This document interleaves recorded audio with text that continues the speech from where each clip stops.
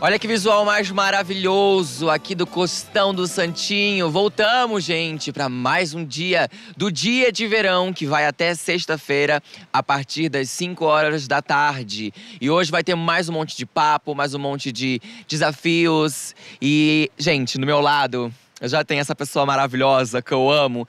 Eu tava louco para ser o dia da tua vinda para cá pra gente conversar.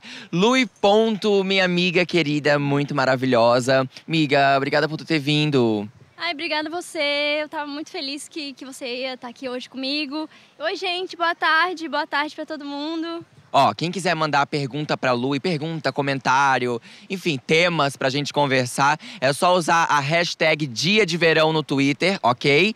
Que, a gente, que eu vou ler aqui junto com vocês. Peraí, deixa eu tirar minha pontinha aqui. Eu vou ler junto com vocês e aí eu vou conversando com a Lu e a gente vai trocando ideia, beleza? Deixa eu ver se já tem algum tweet aqui. Não esqueçam, hein? Usem no Twitter hashtag Dia de Verão pra eu ler os comentários de vocês aqui. Perguntaram se a gente acredita em signo. Cara, eu acredito, até falei isso com o Gui ontem, eu, eu acredito que tem uma certa influência e tal. Que, que, faz sentido muita coisa. Eu só sou meio avesso a tu limitar a personalidade de alguém com isso. Tipo, ai, óbvio que tu pensa assim, tu é canceriana, saca? É, eu também. Na verdade, não acredito em signo, não acredito em mapa astral. Aquela, né, louca. Mas eu também acho isso. É, isso, na real, me incomoda também. Porque as pessoas começam a, a, limitar muito a outra por causa do signo. E às vezes isso é bem chato, principalmente para pessoas que têm um mapa ruim, tipo eu. Uhum. Ai, meu mapa. mapa então, né? Eu sempre peço desculpas antes de falar meu mapa, porque ele não é bom. É, eu tenho Sol em Leão, que já é uma coisa que não é muito boa, né? Mas o, o resto piora. Eu tenho Ascendente em Capricórnio.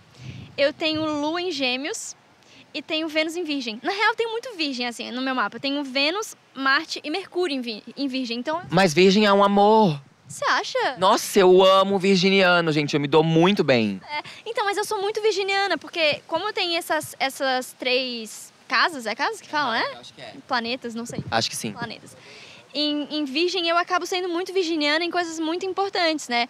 E aí, tanto que eu tava uma vez vendo qual é a porcentagem de terra que tem no mapa, essas coisas assim. E aí o que predomina no meu mapa realmente é Virgem, depois é Capricórnio.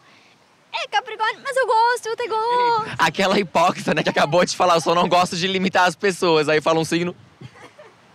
Como é? Repete, por favor. É Virgem, depois é Capricórnio, depois é Leão.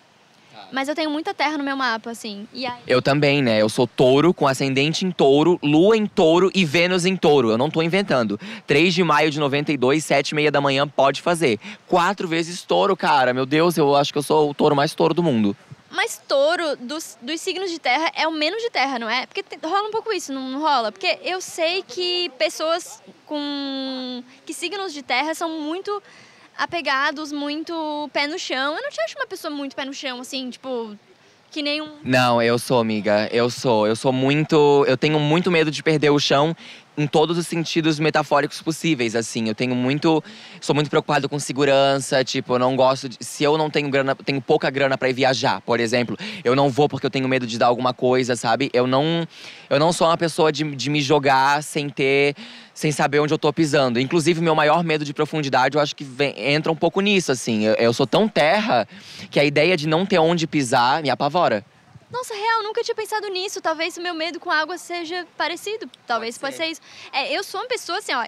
Pra eu fazer alguma coisa, eu preciso me organizar com, sei lá, duas semanas de antecedência. Fazer viagem, eu planejo roteiro, eu vejo quanto dinheiro eu tenho. Eu sou muito essa pessoa, assim. não sou. Tem gente que é muito impulsivo, né? Tem... Isso não, não. Que se joga mais, assim, né? Não, mas. É, isso é de virgem, né? Bem sistemático, assim.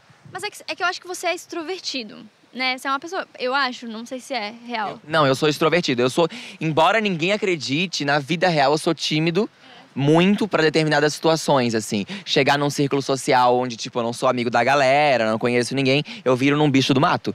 Juro por Deus. A menos que, tipo, o assunto, sei lá, teja, seja algo que eu tenho propriedade para falar. Diva pop, né, gente? Tu chegar na rodinha, tá falando de diva pop, eu já me sinto em casa, já consigo conversar. A arte, óbvio. Mas é que eu sou tímido. Eu sou a pessoa que, se eu vou no aniversário, tipo, ah, tu me leva no aniversário de amigo teu, eu vou ser a pessoa que tá escorada lá no fundo na parede. Não diria. É porque, sei lá, eu, eu te acho uma pessoa extrovertida e aí eu não imaginava que você fosse, fosse tímido. Mas é porque eu sou muito tímida. Eu sou super envergonhada, eu tenho dificuldades, assim, em situações sociais. E eu acho que isso tem muito a ver com. Não, não sei se tem a ver com signo, acho que tem a ver também com outras coisas. Eu amo que a gente falou assim que a gente acredita mais ou menos e a gente tá duas horas falando de signo aqui na live, né?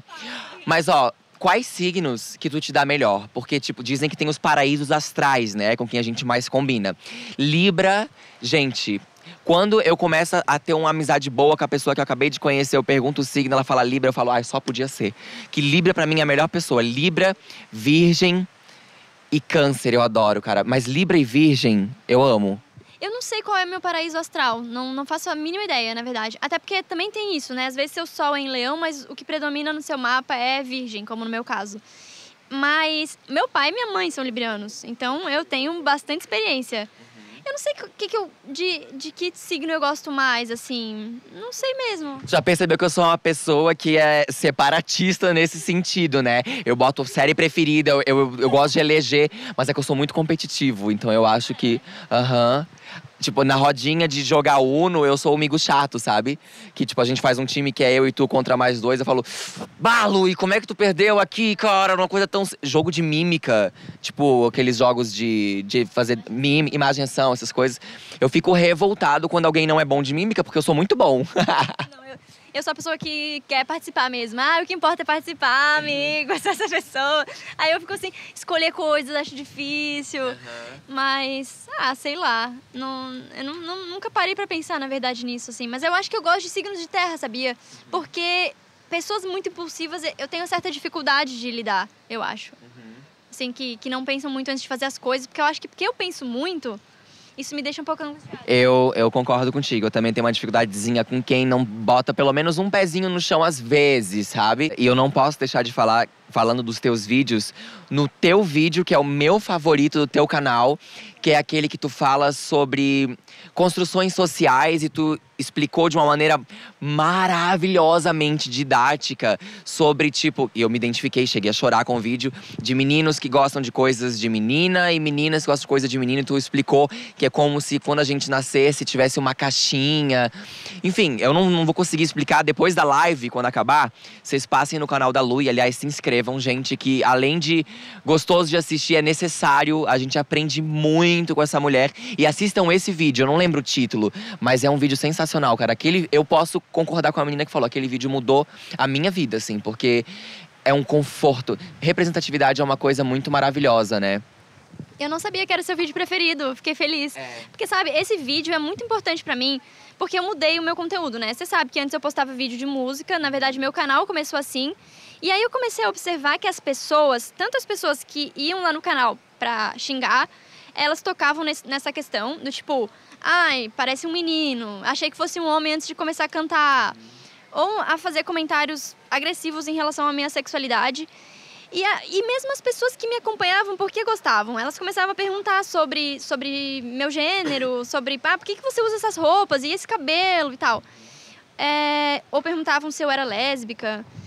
E eu pensei, não, a gente precisa falar sobre isso. Então eu, eu gravei esse vídeo, expliquei. É um vídeo muito pessoal, sabe? Eu acho que a minha intenção ali não era não é tentar falar sobre a vida de outras pessoas. Que eu fico muito feliz que você tenha se identificado. Mas aquilo ali era muito pessoal. Era foi, teu. foi, foi, é, foi a minha infância. Foi o que eu passei na minha infância, como isso foi difícil pra mim entender realmente que existem essas construções sociais que nos colocam em lugares específicos. Então, é, o mundo me viu como uma menina e disse que eu tinha que usar tal roupa, brincar de tal coisa, e eu não queria.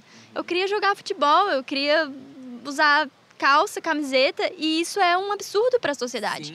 E isso me emocionou muito porque eu também abordo muito esse tema no meu canal, né? Embora ele seja um pouco. A, a linguagem seja um pouco mais cômica, eu falo muito sobre isso, a minha experiência, porque eu também sou um menino que foi contrário a tudo que me é imposto como menino. Eu sempre gostei de brincar de boneca, de rosa, de eu só andava com mulher a vida inteira. Rouge, Spice Girls são as minhas bandas favoritas. Então, quando eu vi o vídeo, eu me emocionei, porque, embora eu desenvolva um trabalho falando disso também no meu canal, é muito louco tu ver outra pessoa falando. É como se tu não falasse, porque Ah, é muito maravilhoso tu estar tá ali sentado e falar assim, cara, essa é a história da minha vida. E ainda que seja um vídeo muito pessoal para ti, a gente não dimensiona quantas pessoas têm a mesma vivência. É, não, assim, eu acho que a importância da internet hoje é, é incrível, porque é bem isso que você está falando, assim. Eu gravei o vídeo lá em casa sozinha, falando sobre a minha vivência, e isso atinge tantas pessoas. Eu acho que quando a gente foge do que é considerado normal pela sociedade, a gente se sente muito sozinho. Sim. Porque a gente acha que só a gente é assim. A gente vê todo mundo, parece, né? Parece que todo mundo é de um jeito e você é diferente. Você pensa, cara, eu nunca vou ser feliz, eu nunca vou ser uma pessoa bem sucedida. E aí, quando você vê alguém ocupando um espaço, falando, ó, oh, eu passei por isso e, e tá tudo bem, eu sou feliz. Você se sente um, é um conforto, realmente é, é um conforto. Ah, é um bálsamo, né? É um bálsamo. Mas é maravilhoso, gente. Inclusive fica essa mensagem, né? Porque aqui no dia de verão tem muito challenge, tem muito meme, mas tem papo cabeça também. E tá tudo bem, viu, gente? Tá tudo bem. É, assistam o canal da Lui, assistam o meu canal. A gente aborda esses temas e a gente e um convite assim de coração mesmo para para galera entender que tá tudo bem em ser quem se é, né?